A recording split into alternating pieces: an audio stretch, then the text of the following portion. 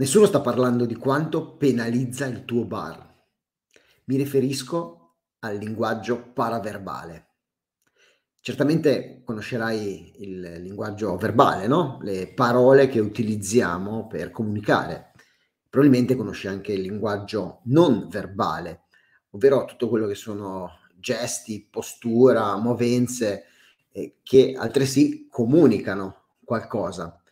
ma altrettanto importante è il linguaggio paraverbale, ovvero tutto quel mix di eh, toni, frequenza, velocità che utilizziamo per parlare. Questo allo stesso modo può enfatizzare il messaggio, quindi dare valore al messaggio eh, che stiamo veicolando, quindi alle parole che stiamo utilizzando, ma anche può eh, entrare in contrasto con quelle stesse parole e quindi remare contro il messaggio che vogliamo dare. Ma in definitiva, perché questo penalizza il tuo bar? Lo vediamo subito. Ecco, prima mh, mm, facciamo magari un esempio per capire meglio eh, la potenza del linguaggio eh, paraverbale. Eh, un esempio classico, ad esempio, ehm, io posso dire ti voglio bene, oppure posso dire ti voglio bene. Ecco, le parole sono le stesse, ma eh, quello che ho comunicato è decisamente differente. Certamente sarà capitato anche a te di avere a che fare con eh, persone, con eh, venditori in un ristorante, magari in un bar di un collega o eh, in un negozio di vestiti, d'arredamento di qualsiasi genere, eh, avere a che fare con venditori che proprio eh, ti trasmettevano eh, passione, che ti invogliavano ad acquistare. E altrettanto ti sarà capitato invece di avere a che fare con persone che magari a parole davano eh, quella, quell'indicazione eh, di voler essere prodighi verso di te eh, come cliente, ma magari traspariva in qualche modo qualcosa che non ti convinceva. Ecco, questo è proprio l'effetto che fa il linguaggio paraverbale quando eh, l'intenzione non è allineata con quello che stiamo facendo. Ecco quindi che quando magari arriva quel cliente eh, che non ti sta proprio simpatico e al suo saluto rispondi con un buonasera, ecco,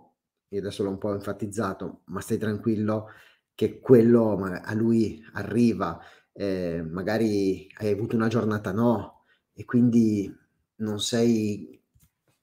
magari spontanea e, e vivace come al solito quando accogli il cliente, eh, o magari la richiesta un po' strana ti lascia perplessa, o magari non hai voglia, che so, di fare quella spremuta, eh, di fare quella centrifuga o quella cioccolata calda eh, magari a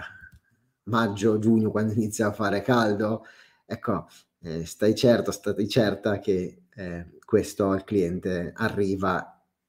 e non lascia in lui certamente un buon ricordo. Ecco che in definitiva eh, il linguaggio paraverbale, se non è allineato con l'intenzione delle nostre parole,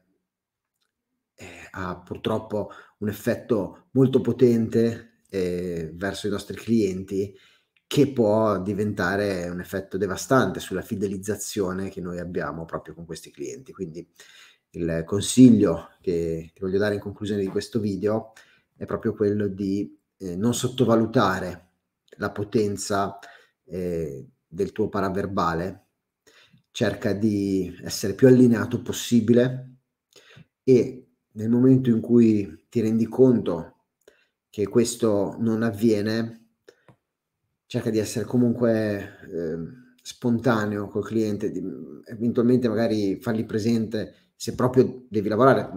Il consiglio che ti darei è se puoi evitare, magari prenditi quella giornata libera, eh, se una giornata no e quindi sai che non puoi accogliere al meglio il tuo cliente, se non puoi, come capisco possa essere, ehm, cerca magari invece di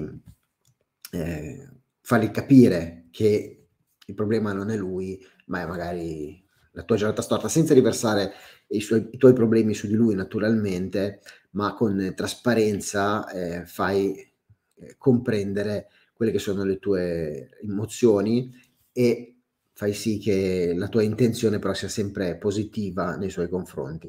altrimenti il paraverbale si ritorcerà contro di te, ricordatelo.